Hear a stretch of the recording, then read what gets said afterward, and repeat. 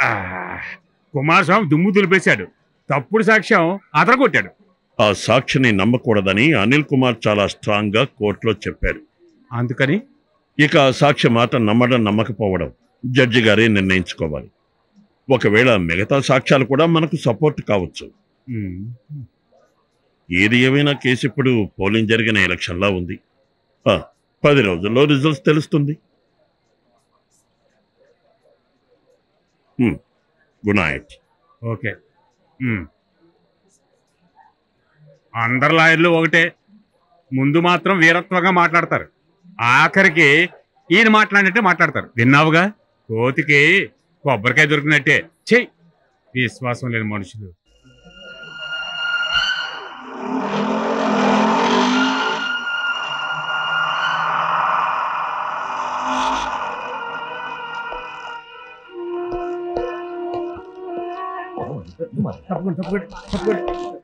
ఎక్కడికి వెళ్ళావు ఇంతసేపు?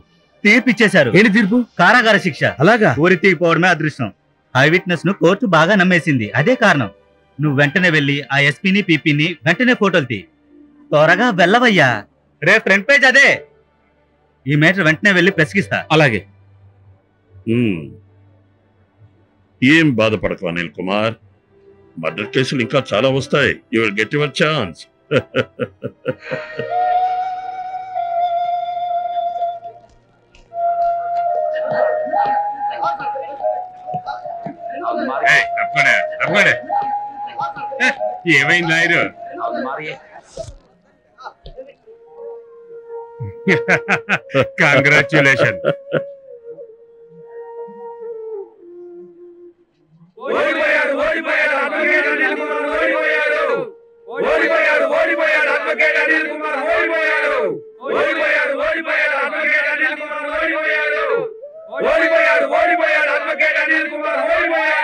ఓడిపోయాడు ఓడిపోయాడు ఓడిపోయాడు.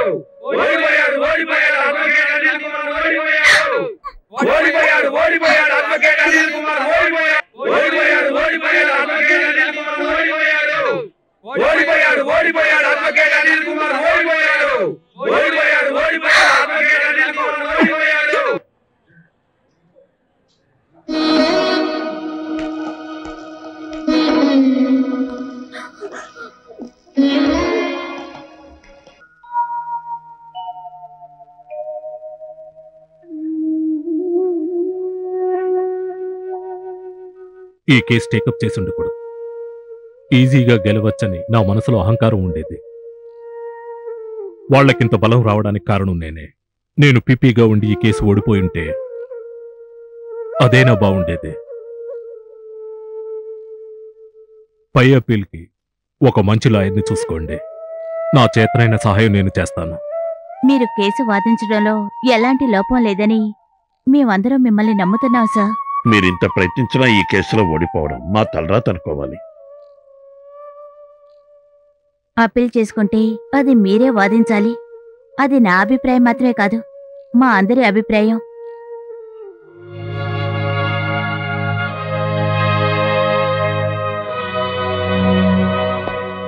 పాలసీ కట్టిన రసీద్ సార్. పాలసీ రికార్డ్స్ రిజిస్టర్ పోస్ట్లో వస్తాయి. చూడమ్మా ఇలా పిల్లల మీద పాలసీ తీసుకున్నట్టు ఎవరికి చెప్పొద్దే. నా క్లయింట్స్ గురించి నేను ఎవరితోనూ డిస్కస్ చేయను సార్ నేను చెప్పేది క్లయింట్ గురించి కాదు పాలసీ గురించి చెప్పాను అంతే. ఆ లాయర్ గారికి పెళ్ళెప్పుడు సార్ అమ్మాయిని చూశాడు కదా. నిశ్చితార్థం ఆ తర్వాతే పెళ్ళి ఏంటి అర్థమైందా? లాయర్ గారు ఎలాంటి వారు సార్ ఊరికే తెలుసుకుందామని అడిగాను. అమ్మాయి చూడటానికి ఎలా ఉండాలంటున్నావు? లాయర్ గారు హ్యాండ్సమ్ గానే ఉంటారు మరి అమ్మాయి? తమ్ముడు ఎవరో సబ్ ఇన్స్పెక్టర్ బాలాట నీతో ఏదో ముఖ్యమైన విషయం మాట్లాడాలని రెండు మూడు సార్లు ఫోన్ చేశాడు. నువ్వు వస్తే అర్జెంట్గా ఆయనకి కాల్ చేయమని చెప్పాడు. నెంబర్ ఏదైనా ఇచ్చాడా? నెంబరు ఇదేదే. తమ్ముడు ఇదిగో. లాయర్ గారు అన్న ఏమన్నా చెప్పారా? ఏం చెప్పినా పర్వాలేదు. నా పాలసీ టేక్ ఇట్ ఈజీ. అదంతా ఆ, అదంతా ఆయనే చెప్తారు. నాకు లోపల పనుంది. తప్పుకో. అలాగే. నువ్వు వెళ్ళు.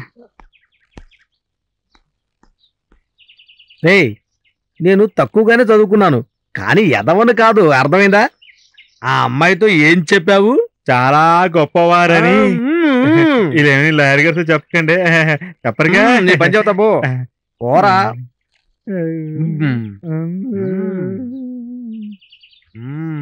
ఆ రోజే నేను మీ దగ్గర చెప్పాను. ఆ కేసు డిపార్ట్మెంట్ చూడండి మనం వేరే విధంగా చూద్దామనేసి. కొంచెం కూడా పట్టించుకోలేదు ఈ మనిషి. నేను ఎంతో మొరపెట్టుకున్నాను అయినా వెళ్ళలేదు ఇలాంటి మనిషి కూడా ఉంటారా? చచ్చిపోయిన వాడి జాతకం చూస్తే ఏం ప్రయోజనం ఉంటుంది? ఇది చెప్పడానికైనా పిలిచావు? లేదు సార్. మొన్న నేను జైలు సూపరింటెండెంట్ చూశాను.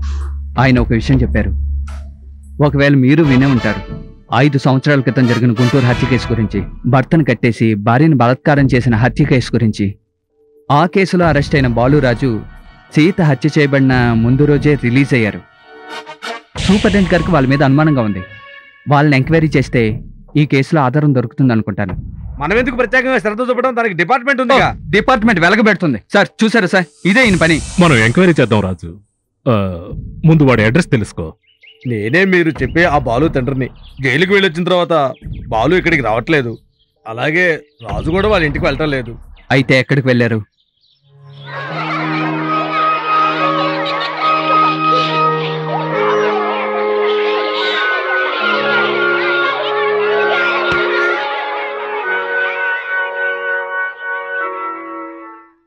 ఈయన బాలు ఆయన రాజు.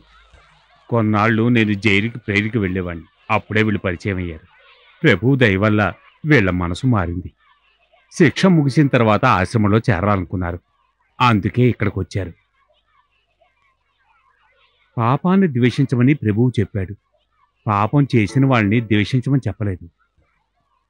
మిస్టర్ అనిల్ కుమార్ వెతుక్కుంటూ వచ్చింది. వీళ్ళు కాదని మీరు నమ్ముతారా?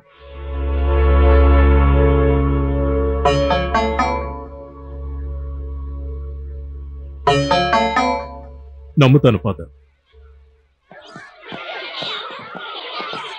మేము బయలుదేరుతాం. కొండలరావు కూడా కాస్త తిప్పరా. వీడు ఏడుస్తున్నాడు. భయపడకూడదే. ఏంటి పిల్లల్ని చూసి అలా ఉండిపోయారు? అంతా మొత్తం కలిపి ఒక నూట డెబ్బై ఐదు మంది ఉంటారు. సమాజానికి అవసరం లేని వాళ్ళు నాకు అవసరం. చాలా. పిల్లల్ని ఎత్తుకున్నాడు చూశారా? అతనే ఇన్స్టిట్యూట్కి అధిపతి. అతని పేరు మాణిక్యం. ఈ ఆట స్థలం ఈ భవనం వాళ్ళు తినే తిండి వాళ్ళు వేసుకునే డ్రెస్సులు మొత్తం ఆయనవే. ఏడకూడదు ఆడుకో. Okay father. సరే. వస్తాం ఫాదర్.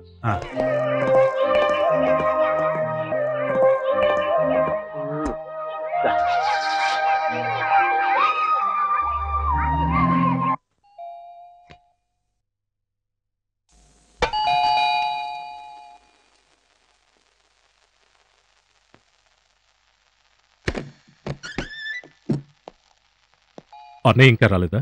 అన్నం తిని నిద్రపోతున్నాడు. నీకు భోజనం వడ్డించనా? హ్మ్.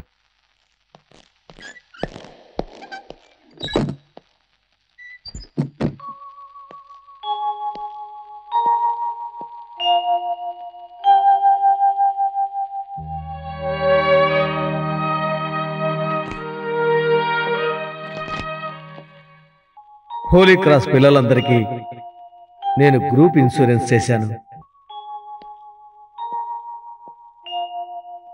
ఈ పిల్లలకి పాలసీ డబ్బుని నెల నెలా కట్టడానికి ఆ భగవంతుడు నాకు శక్తినివ్వాలి.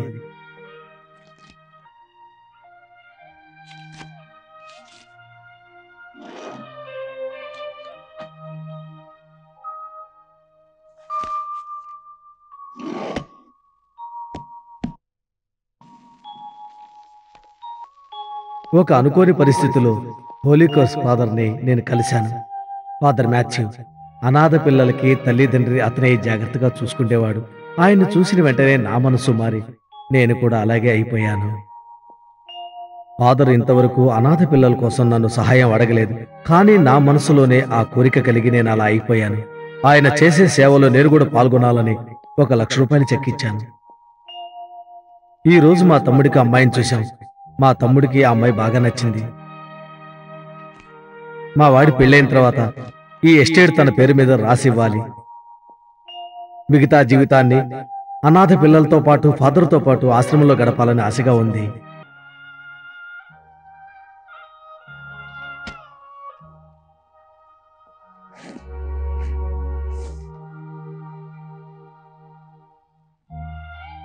నన్ను వదిలి వెళ్ళడం. నీ వల్ల అవుతుందా అన్నయ్య? నేను నిన్ను వదలను. అన్నయ్య లేడంటే ఈ అనిలు లేడు.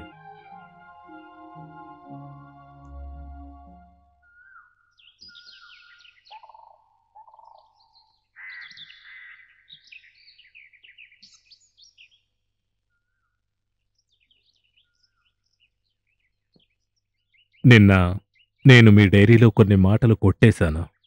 చూసారా చూశాను.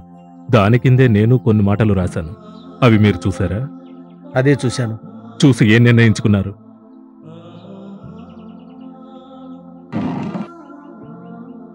ఎక్కడికి వెళ్ళిపోదాం అనుకున్నారు? అనాథ శరణాలయానిక? మీరు వెళితే ఎందరినో కాపాడొచ్చు. వాళ్ళకి ఆదరణ దొరుకుతుంది. మరి నాకు?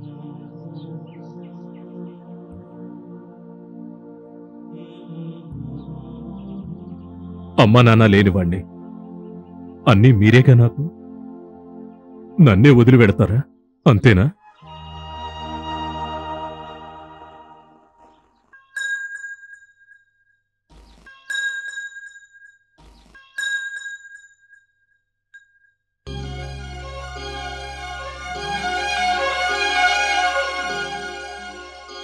నన్ను వేడి నువ్వు వెళ్ళిపోవాలనా? మరిచావు ఆనాటి బంధమే. మనసేలా మారింది నాకేమో తెలియదు. నిన్ను మటుకు నేను వదులుకోలేనులే. నిన్ను మట్టుకు నేను వదులుకోలేనులే. నన్ను వీడి నువ్వు వెళ్ళిపోవాలనా?